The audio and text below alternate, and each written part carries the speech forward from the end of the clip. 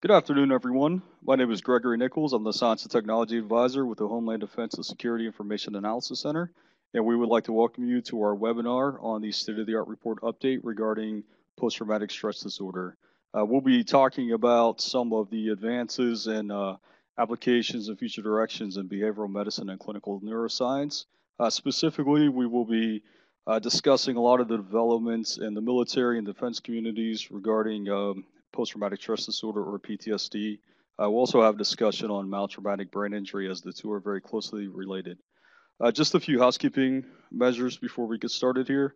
Uh, we are recording this webinar, and the recording will be available tomorrow at this time on the HDIAC LinkedIn and Facebook pages. Uh, we have additional documents that will be available for download at the end of the webinar. We'll have the state-of-the-art report regarding the PTSD and uh, MTBI updates.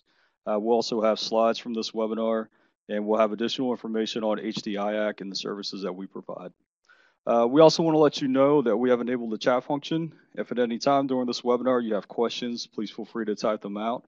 Um, I will get to them as soon as I can. I'll try to address questions uh, before moving on to the next slide.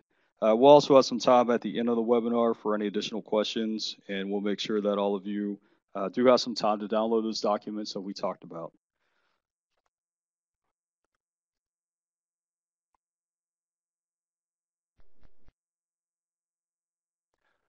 So once again, my name is Gregory Nichols. I'm the Science and Technology Advisor here uh, with the Homeland Defense Security Information Analysis Center. Um, many of you uh, have signed up originally. We had Dr. Ashley Stewart who was slated to give this webinar today. She was actually the uh, lead author on this report. Unfortunately, Ashley uh, had a conflict and was not able to do this today, so I'm filling in for her. Um, I did help her develop this report to some degree, um, and by no way am I an expert in PTSD or TBI, but I do have uh, enough knowledge of the subject at least to cover some of the uh, information that Ashley and her co-authors were able uh, to gather. And so hopefully I will do her research and the report justice. Uh, just to give you a little bit of additional background on me um, that may not be found in the uh, biography that we had. Um, I spent five years in the U.S. Navy as a hospital corpsman, so I'm intimately familiar with uh, some of the military um, treatment protocols for a variety of these issues that we'll be discussing today. Um, I also spent about three years um, conducting some research at the University of Tennessee looking at uh, the association between uh, certain genes and polymorphisms as they relate to uh, the increase in concussion risk and um, recovery time. So I have uh, enough knowledge to be dangerous, and so hopefully I'll do a good enough job to at least discuss some of the uh, highlights of what we have found here today. So just to give you a uh, overview of what we'll be talking about, uh, we're going to talk about the background of this report, how we got to this point. We'll also talk about the history of PTSD, where we currently are. Uh, then we'll move on to discussing some of the updates and the research regarding the neurophysiology of PTSD. Uh, we'll talk about mild traumatic brain injury. Uh, the two are very closely closely linked, and we'll discuss um, how they are often um, found together. Uh, we're also going to talk about some supplemental information, uh, some research out of Johns Hopkins involving uh, virtual reality and how that's being used to um, treat stroke patients, but some of the applications that may have to uh, treating PTSD, and then we'll we'll wrap this up. Just to give you an overview of who HDIAC is and what we do, um, we are a Department of Defense organization. Uh, we sit within the Assistant Secretary of Defense for Research and Engineering, and administratively, we report to the Defense Technical Information Center. So we straddle two uh, different areas. We help facilitate research as well as collect and disseminate information. Uh, we utilize expertise and knowledge from government agencies, uh, laboratories, research institutions, academia, and industry, um, and hope to provide uh, solutions to uh, the DoD for its um, you know, biggest scientific challenges. Um, we are tasked to develop two state-of-the-art reports each year that focus on the most pressing topics to the defense community. Uh, these are the 2016 state-of-the-art reports. We had one last week that looked at nanotechnology and surface applications, and today we're going to be discussing our other state-of-the-art report regarding post-traumatic stress disorder. So as many as you know, um, PTSD is um, a condition that many in the military have struggled with for a very long time. It is not solely um, confined to the military. Um, civilian populations also have struggled with post-traumatic stress disorder, uh, commonly found in a variety of different types of um, experiences. Uh, today, we're going to talk uh, in general about PTSD and then also focus on some of the um, you know intimate details associated with uh, military populations. So there have been references to PTSD all throughout history. Uh, probably really wasn't until World War One that we started to get a better understanding of the association between post-traumatic stress disorder and the traumatic experiences that soldiers faced um, in the war, primarily to the horrendous conditions that were often found in trench warfare.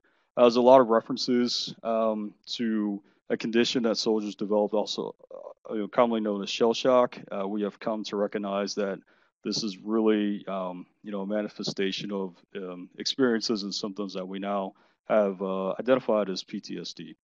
Um, it's just been relatively recently, maybe the past 20 years or so, where we have really started to coalesce a better description of these symptoms into what we now recognize as PTSD. Um, it was once categorized as an anxiety disorder, and now it has been shifted over into a trauma and stress related disorder. Um, at the bottom of the slide here, you can see um, this is table one from our report. We have the DSM-5 criteria for PTSD. Um, and it has to meet some of these criteria here that you'll see at the bottom. I won't go into uh, too much detail, as uh, many of you can uh, see from the slide here that we have a pretty de detailed description of what the diagnose, diagnostic category and criteria are.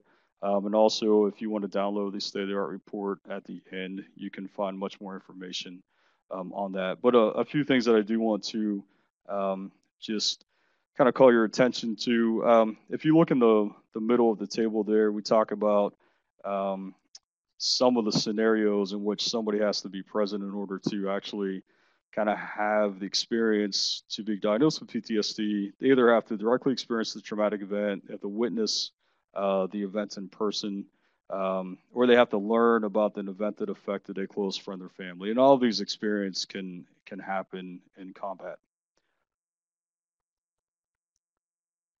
So let's talk about uh, some of the current statistics.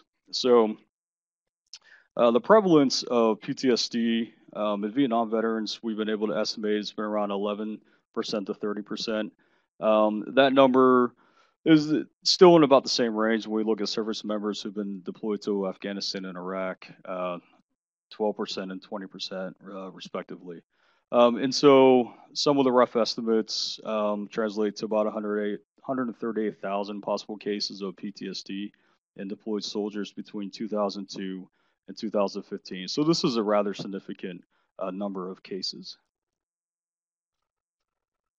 We also know that a variety of other conditions can exist with PTSD. Uh, we call these comorbidities. Um, studies have shown that PTSD is often uh, correlated with anxiety and other types of disorders. Um, in particular, we see substance abuse disorders, we anger and aggression, and sleep disturbances, and we will talk a little bit more about these uh, later on in the presentation. Um, and another thing that we'll get to, we'll, talk about traumatic brain injury, in particular mild traumatic brain injury or concussion. Uh, studies have shown that um, soldiers and other warfighters who have been affected by a mild traumatic brain injury are much more likely to develop PTSD. So there is a very important link uh, that we want to talk about there. There's also a lot of the same symptoms between mild TBI and PTSD, which sometimes can make it very difficult to to distinguish between the two or to actually know if you have both conditions. Again, we also see sleep difficulty, impaired memory, headaches, and other types of behavioral uh, problems. So currently the way that we assess uh, PTSD is through a variety of different uh, self-reporting measures. Uh, we've got four of the more commonly used scales um, listed here. I want to pay just pay attention to a couple here real quick. Um, probably one of the most widely used one is the first one, the clinician administered PTSD scale or CAPS. Uh, one of the other ones, the structured clinician interview. Um, it's actually a relatively good scale, but it has a couple of drawbacks. Um, so it doesn't account for effects of a prior trauma, and it doesn't really have a good way to measure uh, frequency or severity. So it's maybe not the best to use in all cases.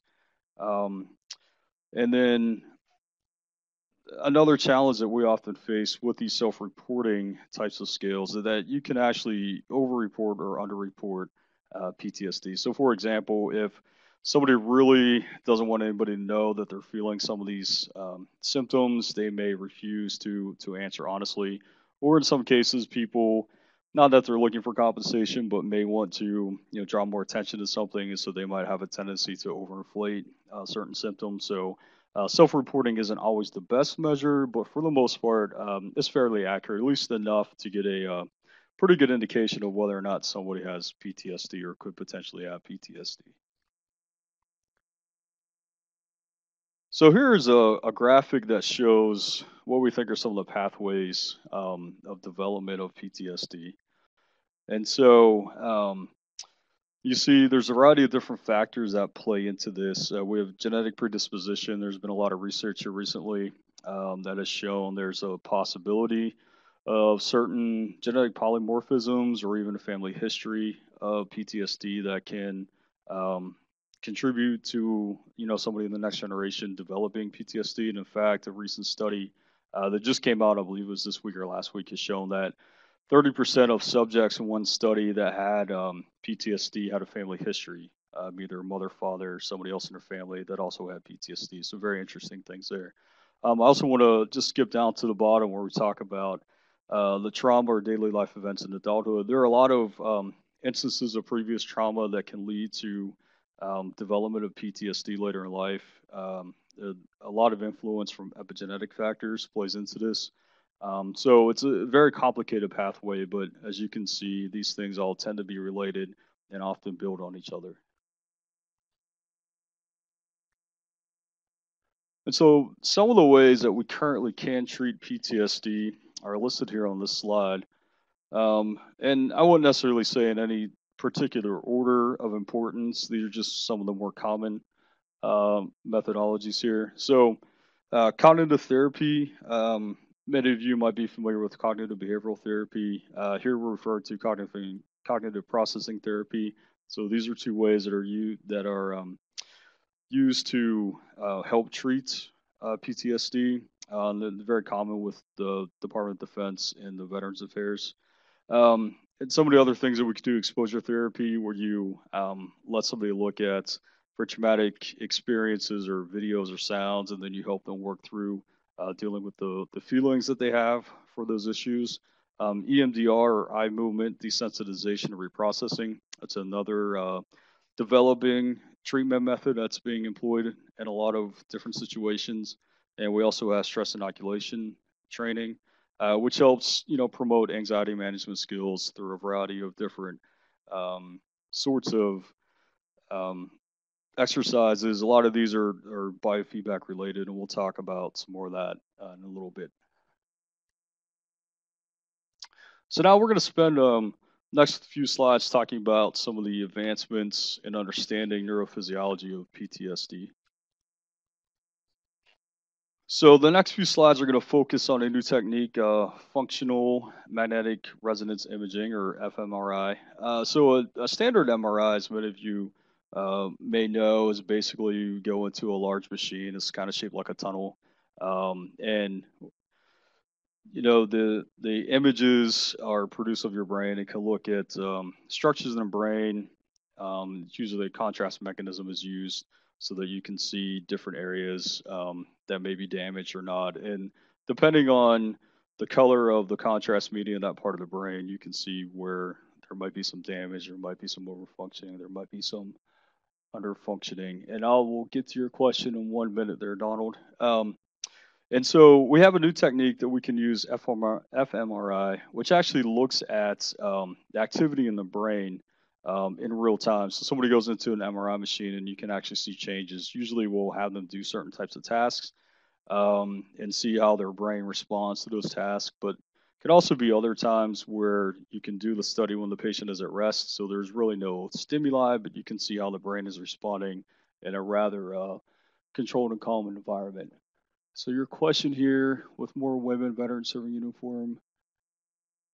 Uh, that's a really good question. Um, I do not know. I can look up that answer and see if I can get you something Um, I think after the webinar, we have everybody's contact information, so I'll make sure I get you some information. That's a very good question. Um, we do know that women are more likely to develop PTSD than men, um, but I'm not sure about the postpartum question. So I'll, I'll see what I can do for you, Donald. Thank you.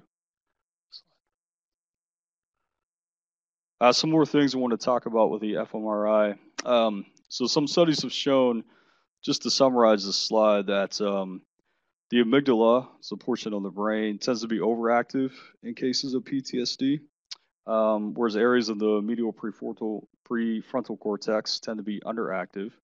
And then when we look at the hippocampus, which is important in memory functioning, tends to be mixed. Now, the hippocampus is important because Patients with PTSD and also with MTBIs, we'll see often can have amnesia or can can lose memories before the event, um, and so that's an important part of therapy now is trying to get those memories uh, recalled. So uh, very important, although fMRI techniques haven't really shown one way or another how the hippocampus how the hippocampus reacts um, after PTSD. Um, and then finally here, um, a couple other areas of the brain that we've been able to look at. Uh, the insula has shown higher levels of activation in PTSD, um, but the thalamus has shown lower levels of lower levels of activation in PTSD patients. So as you can see, uh, the brain obviously being a very complicated structure, uh, different areas do react differently um, in somebody who has been exposed to PTSD, but these are in general some of the uh, more up-to-date research findings that we have seen. Just take a time here to look at um, a graphic that looks at the connections between different neuroanatomy and anatomical structures um, that are affected by PTSD. And a lot of this work has been done at various institutions across the country, both within and outside of uh, the defense and veteran affairs communities. Um, you can see all of the different structures and how uh, they're related and everything you know serves a function in terms of what it allows us to do uh, processing uh, speech and memory and sleep and things like that. And each of these areas seem to show um, some sort of response in patients with ptsd and so trying to understand how these interact better together how we can um, you know tailor therapies to treat specific types of the brain i think is going to be very important as we continue to move forward in uh, PTSD and even uh, TBI research. So just to summarize what we just saw on the last slide, I think really that's all this slide is doing. Um, one of the things that I do want to discuss that the amygdala appears to significantly influence activity in the visual cortex. And so um, just some more interesting things that we have seen with fMRI uh, studies.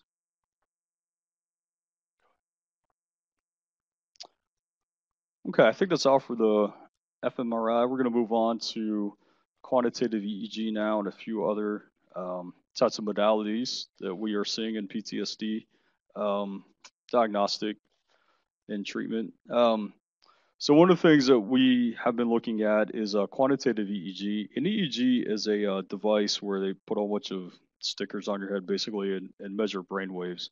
Um, typically, these EEG um, readouts have been interpreted by you know neurologists or some other um, qualified healthcare provider, and you know relies a lot on their their knowledge and their visual interpretation as to what is actually happening. So what quantitative EEG allows us to do is actually uses algorithms that can um, measure very uh, fine patterns that we may not necessarily see with our eye, can give us a better estimation of the activity that's happening in the brain. So just to summarize this slide, um, with a lot of the QEEG studies, we've seen an increase in alpha waves, and we've seen a decrease in the beta and theta waves.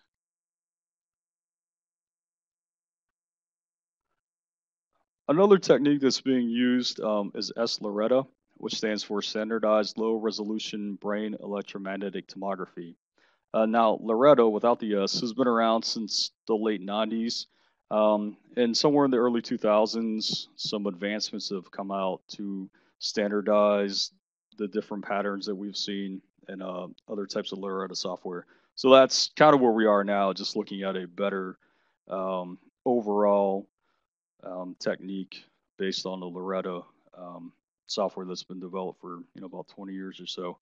Um, so basically, the S LORETA uses um, the same type of EEG activity um, that a QEEG or standard EEG would use, but it can actually measure uh, the current densities from different regions of the brain. It, it can create a map. It can create a relatively crude picture of the brain based on what parts um, of the brain are functioning at different times. And so it it makes a really interesting uh, map of neuronal activity. And based off of this, we can see certain patterns um, in PTSD subjects. And so uh, some of the things to note, there's been increased connectivity of frequencies between the precuneus and the right inferior parietal region in PTSD subjects.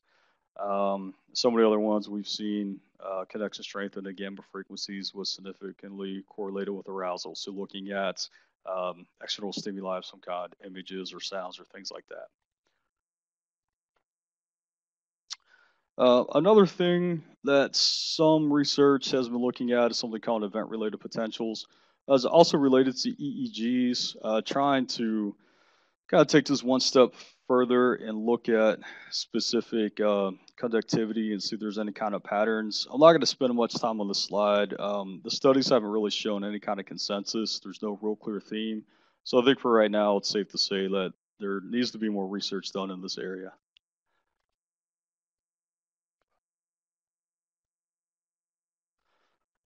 So we're going to take a step back here and talk about um, some of the treatment approaches that are being used uh, to, you know, help patients uh, who have PTSD. I think we're done with the um, imaging techniques here for a while. So if that's not your strong suit, you can just sit back and relax, and we'll talk about uh, treatment. So the first thing I want to talk about is neurofeedback. Uh, this is something that's actually been around since the 60s. Uh, but recently it's been applied to PTSD patients. Um, previously, it's been used in a variety of different types of populations, people dealing with pain, anxiety, depression, insomnia, and even stroke. Um, probably one of the best studies that we have comes from uh, Cluj in 2014. Uh, they were actually looking at people who had experienced childhood trauma, and they showed some very good uh, um, progress in terms of how this therapy was utilized. And so basically, the way that it works is um, people are exposed to some type of real-time display, whether it's videos that are you know, traumatic events or whether it's sounds, you know, for soldiers, maybe it could be explosions or tanks or something like that. And then they're basically allowed to um, kind of process these images or these sounds and develop techniques that will help them self-regulate their physiological responses. Um, it, it may sound a little cruel, but it's it's a way that somebody can kind of monitor their body's response to a lot of these terrible things that you know basically caused um, psychological trauma to begin with, and then help them kind of understand how their body reacts and to more appropriately control that and, and deal with that and handle these these emotions that are brought up and these these feelings. Um, another technique that's being used in specific biofeedback. So we're talking about, you know, understanding how the body responds to certain stimuli. But this is very interesting. So this is specifically looking at what's called heart rate variability. So heart rate variability is a very interesting uh, phenomenon. So all of us, we have obviously hearts that beats, you know, several times a minute, and um, between each one of the heartbeats, that interval is a little bit different. So it's never perfectly consistent. And so heart rate variability actually measures uh, what we call the, the beat to beat interval. And so in most normal, healthy, functioning people, there isn't a really consistent uh, interval. So, you know, it might be a couple seconds between the first heartbeat in the second, and we might add, you know, maybe another second. So maybe it's three seconds between that heartbeat and the next. Then maybe we'll go back to two seconds. So, you know, we have these kind of irregular intervals. What we have seen in a lot of patients with PTSD and in patients that have other, you know, chronic stress related disorders is that the heart rate variability is actually consistent. And what studies have shown consistently over a long period of time is that um, patients who have a consistent heart rate variability typically have some sort of imbalance in the body, usually between the sympathetic and parasympathetic nervous systems, which is very interesting. So the biofeedback that focuses on the heart rate variability actually tries to help people um, make that heart rate um, less consistent, and that makes sense, to get them back to what would be a normal status. It's a very interesting uh, sort of phenomenon. I think there's a lot more research that is being done in this area and that needs to be done in this area. But um, for right now, I think this is one of the more interesting developments that we have seen. Um, and just a couple other things here um, in terms of treating PTSD.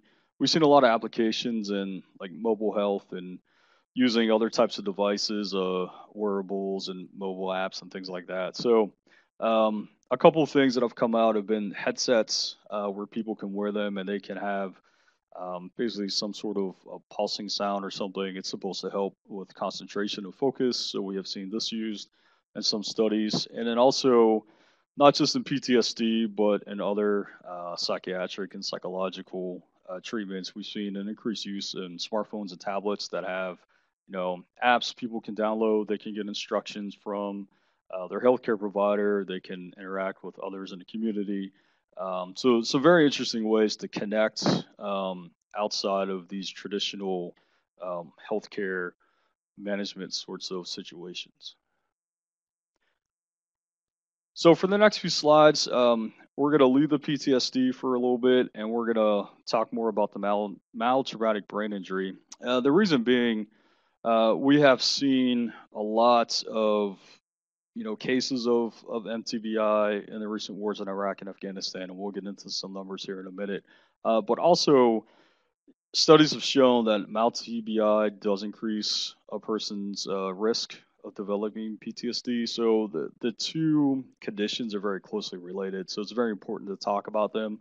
Um, I think in the same time, and also a lot of the symptoms can overlap. So sometimes somebody may have PTSD, they may also have a mild traumatic brain injury, but because the symptoms overlap and maybe the reporting um, isn't quite developed enough to where it, gets overlooked, and so they can actually go uh, for a while without being properly diagnosed for um, and MTBI. So we're going to talk about some of the new developments in, in diagnostics and also uh, some of the statistics we've seen that shows these these two conditions are more closely related than originally thought.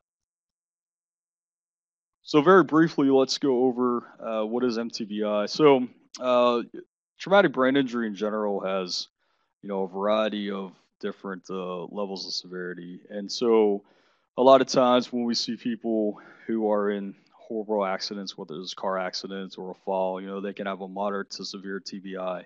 Um, and what we see a lot of the time in military populations and also in athletes, uh, typically football, is what we call a mild traumatic brain injury or concussion. So, um, not quite to the level of severity as somebody who may be in a, let's say, a terrible car accident where they hit their head and have a brain bleed and have to have surgery and things like that. So, we're talking about somebody who hits their head or there's a blast of some kind um, that causes some shearing in the brain. And this can obviously lead to, to long term damage that can cause a lot of symptoms. And we'll, we'll talk about what those are here in a little bit. Um, so, MTBI is probably one of the most underreported types of brain trauma, and it can account for 90% of um, traumatic brain injuries overall each year. Um, among military service members, 350,000 cases have been estimated to have occurred since 2000. Uh, primary causes in Iraq and Afghanistan are blast, blast plus uh, motor vehicle accidents, uh, motor vehicle accidents alone, and gunshot wounds. Um, why this is also so important is that MTBI has often been called the signature um, injury of the recent wars in Iraq and Afghanistan. So it's a very, very uh, important thing to talk about, a very big problem. Uh, DoD and the VA have been actively engaged a lot of research to not only identify um, those service members with MTBI, but also to develop new diagnostic capabilities and also uh, treatment protocols.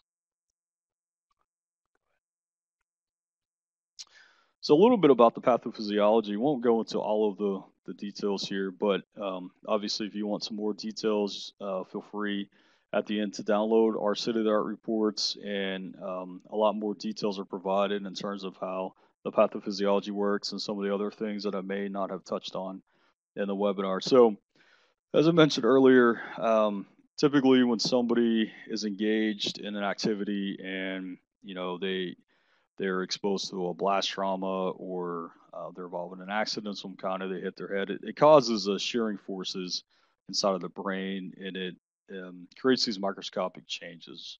And so it's these changes that really started a, a chain reaction. Uh, what happens is anytime that there's some sort of trauma, especially when you have cellular uh, changes or you have damage to the tissues, um, you have this cascade of um, cytokines and, and, interleukins and other sorts of things that start um, to respond. So we have an increase in oxidative stress, um, cytotoxic injury, other sorts of uh, things like white blood cells be released can be released, and this causes not only healing to start in some ways, but also uh, inflammation and increases damage. And so, left unchecked, this can obviously lead to a lot of um, increased and prolonged neurological disorders, but also more systemic types of disorders.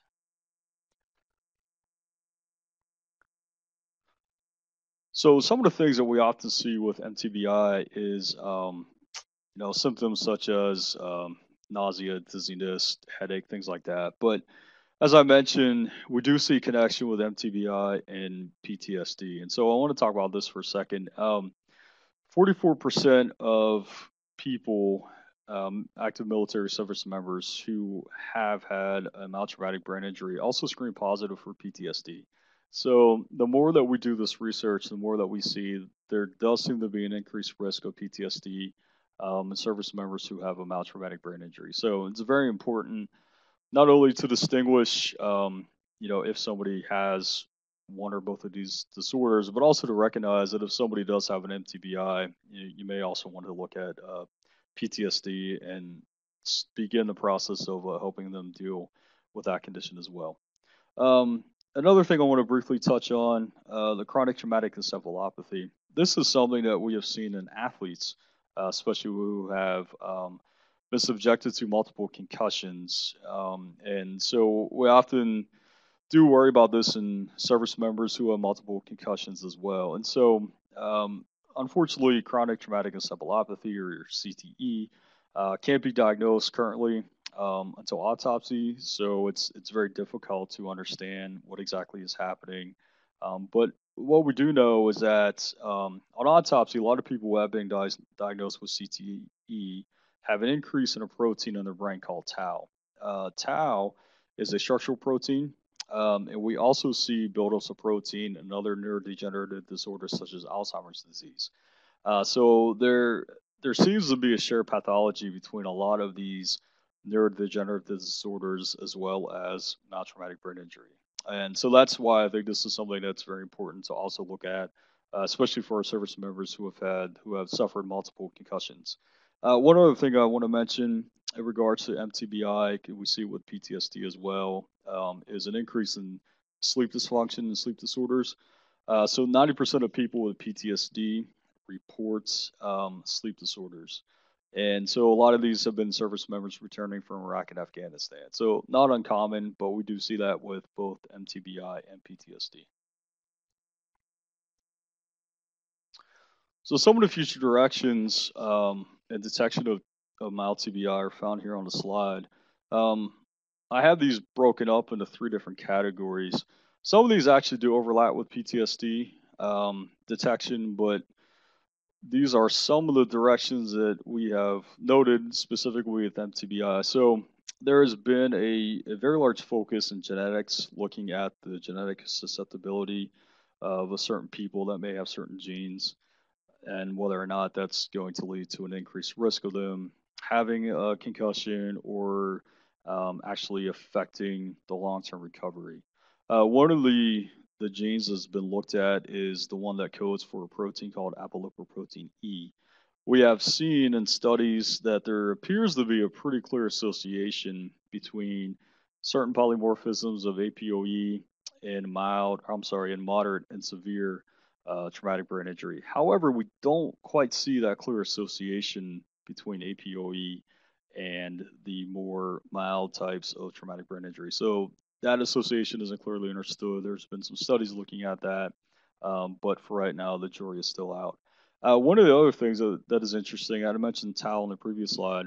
Uh, there's been some studies looking at um, different polymorphisms of the genes that code for tau to see if there's any association there between, um, you know, certain mutations of tau and how that might affect either risk or long-term recovery. Uh, again, those associations haven't really been studied very much, so there's not much information to go on right now, but it's something that has become of interest because tau is so pervasive in a lot of the neurodegenerative disorders that we um, see with Alzheimer's disease and Parkinson's and um, CTE and other things like that.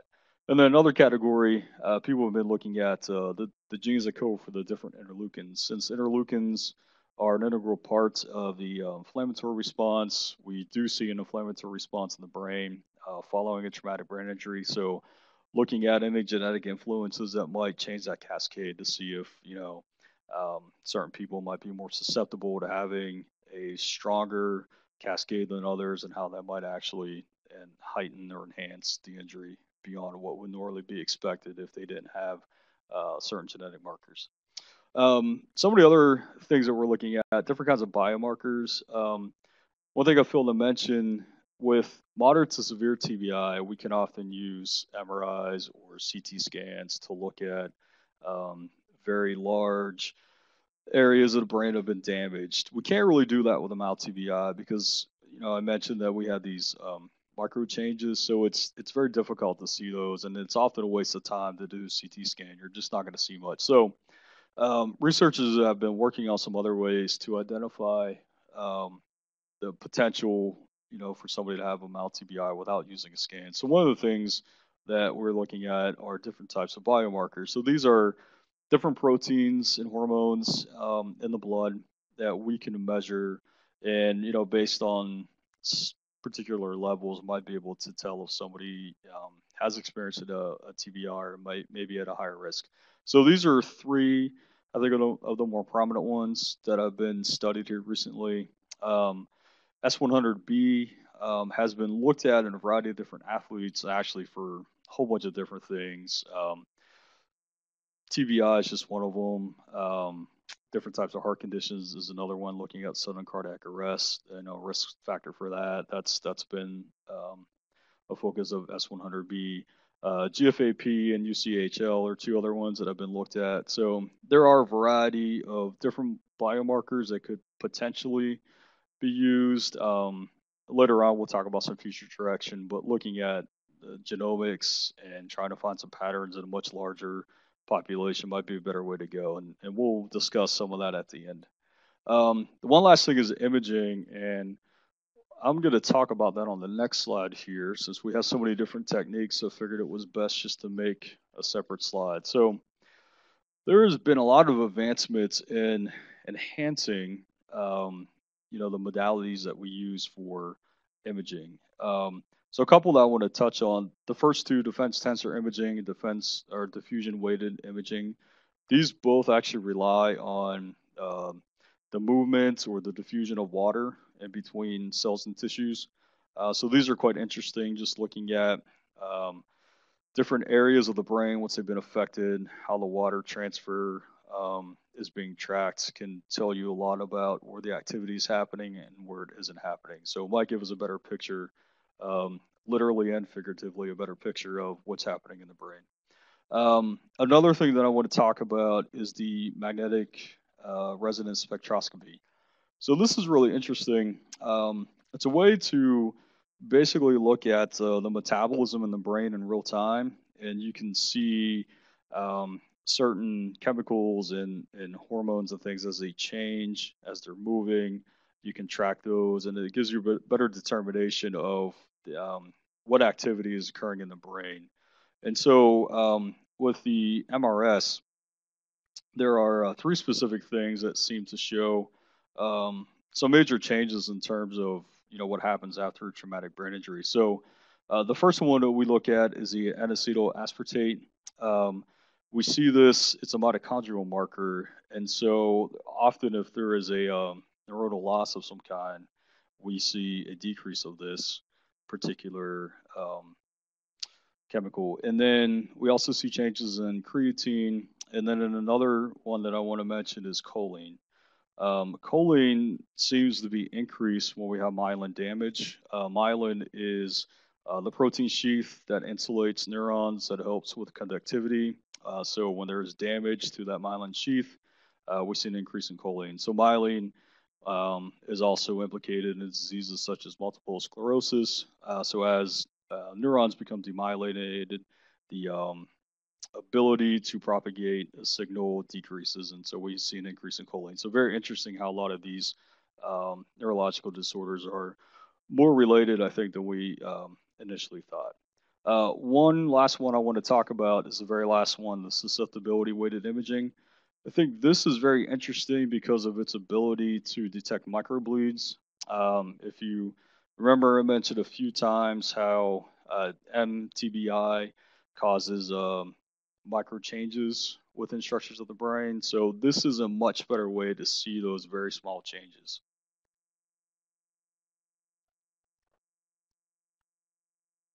So we'll talk about some of the treatment methods that are being employed uh, to deal with MTBI, and then we'll we'll move back to um, PTSD here um, in a second. But just a few things, and some of these may have crossovers to PTSD as well. But for right now, these are being used to to treat um, mild traumatic brain injury. So the first one we have is very interesting. This is progesterone. Progesterone is a hormone that's naturally produced um, in a whole bunch of different species, humans obviously being one of them. Um, it's mainly produced in different glands throughout the body. Uh, there's a very small amount of progesterone that's produced by certain nerve cells or certain um, neural cells, so neurons and glial cells um, also produce progesterone. What's interesting is that studies have shown in animal models that progesterone tends to be neuroprotective. Um, progesterone also affects the upregulation or an increase in uh, gamma aminobutyric acid or GABA.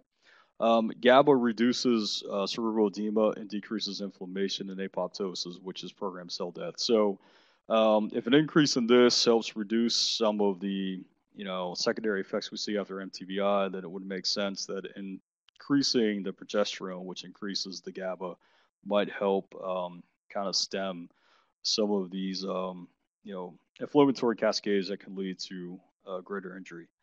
Another technology that's being used is hypothermia or brain cooling. Uh, so it's been shown that hypothermia uh, can actually reduce hypoxic events following a TBI.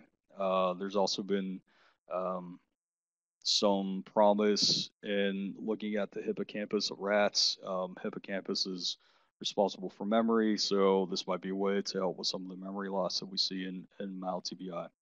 Um, and a couple other things real quick. Uh, DARPA is working on a program restoring active memory, uh, which is hoping to accelerate some of the technologies used to repair memories. And then finally, um, there's been some advances in using virtual environments to help facilitate uh, more of an immersive environment for patients and the therapist. Then the very end, we'll talk about um, some supplemental information from Johns Hopkins that actually illustrates uh, one of the programs they're working on to help utilize a virtual environment in uh, promoting therapy.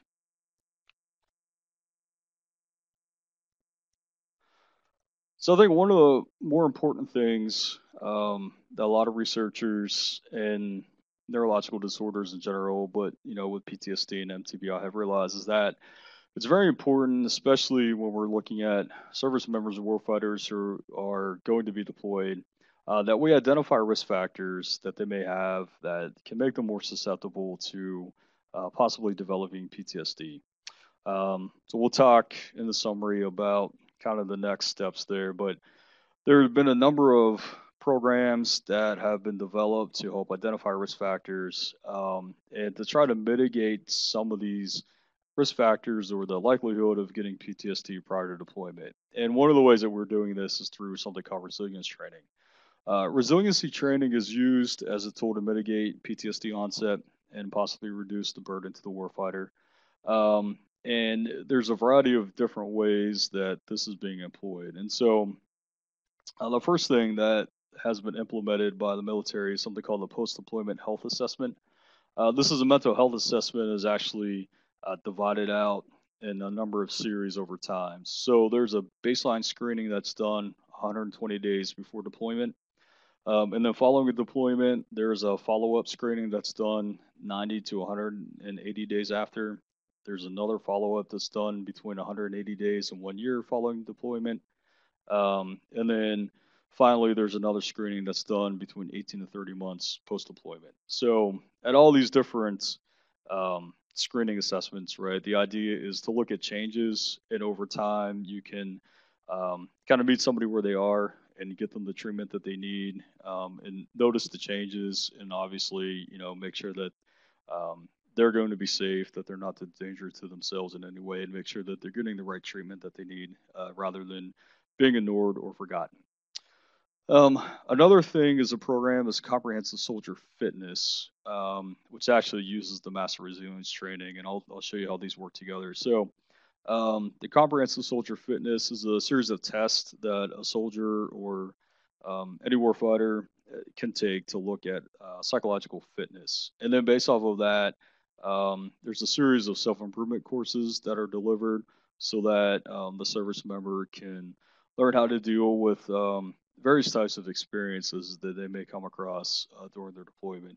So some of the courses that are offered um, can be to address uh, positive emotions, can be used to help engagement, uh, can discuss meaning and relationships and things like that. So basically, it's a way to um, uh, preemptive strike, if you will, a way to help somebody um, give them the tools and the skills that they need to handle some situations that they may come across, um, uh, specifically if they're going into combat. So uh, some of the other current applications that we have run across um, to help with this resilience training, and, and you know, please take note that this is something that's done before the event happens. So we want to try to find people, um, you know, who are going to be deployed, work with them to help um, teach them and train them and prepare for what they may face, and give them the tools that they can better handle these situations um, if and when they happen. Um, so some of the things here I want to talk about. Mental Gym. Uh, this is a program that has been used among soldiers and uses a variety of techniques, including some of the biofeedback mechanisms we talked about, and also imagery, uh, looking at uh, different types of photographs of situations and, and understanding how to deal with those emotions and handle uh, the feelings associated with those. Um, there's a performance enhancement and resilience training, which also builds on biofeedback techniques, but has um, a variety of other types of mechanisms. Uh, one of them is um, a psych, uh, psychophysiological stress profile that they can take to kind of understand where they currently are and how they might react to different kinds of situations. Then finally, we have the stress resilience training system, uh, which helps build coping skills uh, when somebody might be exposed to stressful situations. So all of these things in terms of resilience training are designed to help prepare somebody for um, you know, uh, an experience that they may face and how they can better deal with that. All right, so we are almost done here. Uh, just want to discuss one last thing and then we will move on to a summary and wrap this up.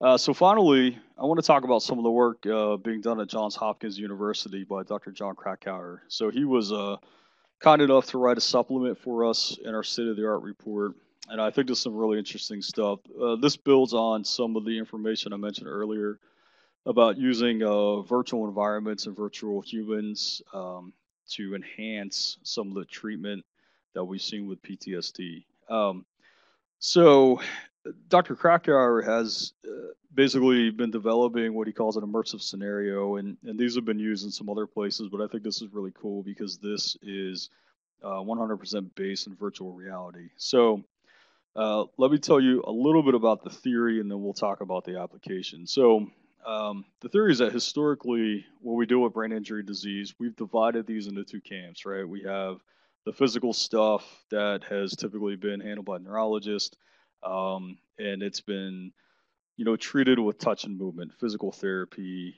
things like that. Uh, we've had the other side where we have a psychiatric illness, And we have dealt with that with psychiatrists and psychologists, and that deals more with the verbalization of thought content. So these things have gotten split, but Dr. Krakauer's argument is that these interventions that we use for both of these, whether it's the physical or whether it's more of the thought, are still very much based on behavioral um, outcomes. And so trying to bring those back together and looking at the core of behavior, how do you how do you handle that? And so what he came up with is that gaming of virtual reality is actually a way that you can promote the overlap of the neurological impairment and the treatment of the psychiatric illness together. And so what what they have been doing at Hopkins is they've developed this video game, which is actually quite cool. Uh, it's a virtual oceanic environment in which the patients um, control a simulated dolphin. And they do this by moving their arms. They move their arms, they swim as fast as they can, they can make different kinds of movements, make the dolphin do things. Um, they're looking at this in stroke patients, and we'll talk about why this is important in a second. But uh, so for the stroke patients, they try to get them to use their affected sides of their bodies to try to strengthen those areas. What's interesting about this is, you know, they swim in the ocean, they chase fish, they run from sharks, uh, whatever it may be but there's different levels, and each level becomes increasingly difficult. So not only are they physically moving their bodies and trying to control the dolphin and trying to react to the, their environment, their virtual environment, but they also have to think. They have to use their brains. They have to use decision-making processes, and that becomes more complicated as the game goes on. So what this really does is it's forcing them to not only understand their physical environment, but also use areas of the brain that they may not normally use or may have been damaged due to the stroke. Um, but it puts them together, right? As the, the activity as well as the cognition. Um, these immersive kind of scenarios actually have been shown to be very helpful uh, to a variety of neurologically affected patients. Um, and so, what's interesting is that um, there may be some benefits in treating patients with TBI, but specifically, a lot of patients who have strokes can also develop PTSD, right? The fear of this happening again, or how they're going to deal with the rest of their lives, or what others are going to think. Um, and so, because of that connection, uh, Dr. Krakauer believes that this specific type of gaming scenario may have some very good treatment possibilities with PTSD. So, this is a, a rather new development, something I think is very interesting, and uh, something we're very grateful to have him write about, and just something we wanted to share with you. All right, so we are in the home stretch here. Got uh, one more slide to wrap things up, and then we'll get into thanking some of the contributors to the report here. So, just to summarize, um, you know, most of this is focused on PTSD, but we do know that there's an overlap uh, with MTBI.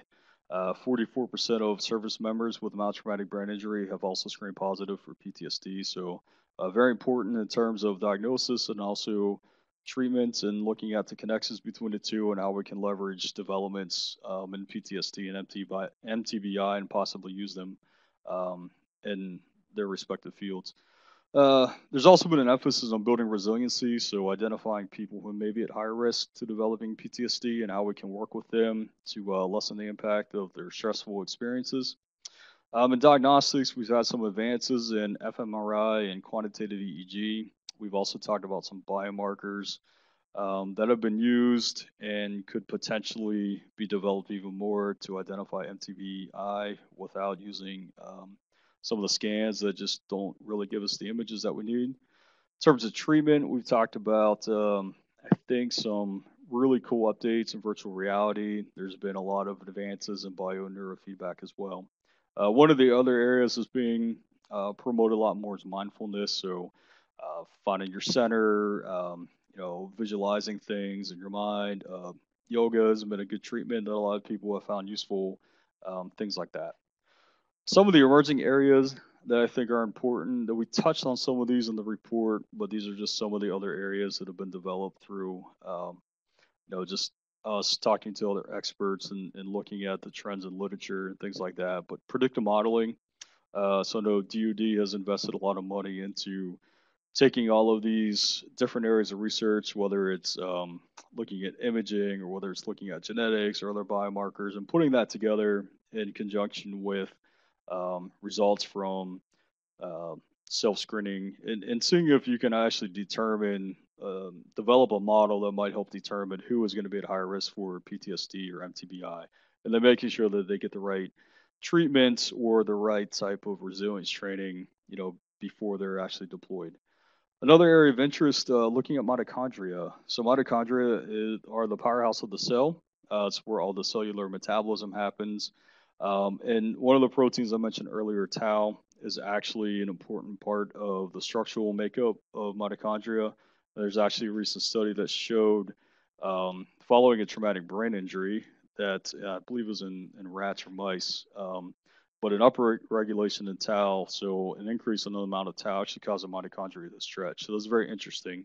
There's also been some research out of Europe looking at um, mitochondrial DNA and how some of those haplotypes may affect the expression of other types of genes. So some interesting developments for sure. So I know we're getting close here on time. I want to give everybody enough time to download our information. So I just want to give some special thanks here. Dr. Ashley Stewart, who was the lead author on this report. Um, just want to thank her for all of her, her hard work. Also, uh, Dr. Kevin Jackson, Andrea Meckley, Katiana, uh, Eric Luster, and again, uh, Dr. John Krakauer from Johns Hopkins. All right. Well, thank you, everybody. I appreciate you hanging in there with me for what turned out to be a pretty full hour.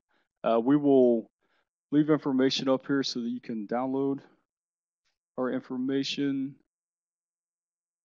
And my contact information is still up on the screen. Um, so I'll take any questions that you may have. We'll stay here on the line for a few minutes. Uh, please feel free to reach out to me at any time. Uh, my personal contact information is there. I will do my best to answer any questions that you have now, or if you uh, email me later. Anything I can't answer, I will get you an answer. I'll either put you in contact with the right experts, or we will um, do some research for you. So while we're waiting, just talk about some of the services that HDIAC um, offers. As I mentioned, we are a Department of Defense organization, um, and so there's a variety of services that we provide both to the defense community, and other federal agencies. Uh, one thing we have is a technical inquiry service. We can provide up to four free hours of research on a topic as long as it relates to one of our eight focus areas. Um, if you go to our website, hdIAC.org, you can see what all eight of those focus areas are. Um, we also have a contracting vehicle. So if you are a federal funding agency and you have research um, applicable to one of our um, eight areas that you would like to have done or something that you want to discuss, uh, we can help facilitate that work. Um, we have a pre-award or pre-competed vehicle called a core analysis task. Uh, a couple of caveats to that. We have to complete the project within 12 months, and there is a cap of $500,000. Um, but as long as we can get something done within in that time frame, uh, we're more than happy to talk to you and see what we can do to help facilitate your research. So if anybody has any questions, I'm more than happy to to take any. I don't see anybody on the chat right now. So, okay, well, once again, I want to thank you for tuning in today. Um, you can find additional content, as I mentioned, uh, the slides for today's webinar, uh, additional information on HDIAC, and the actual state-of-the-art reports um, be available for download. And then this time tomorrow on the HDIAC LinkedIn and Facebook pages, we will also have uh, the recording of today's webinar. So thank you again. Hope that you all have a good day and a good weekend, and uh, have a good night.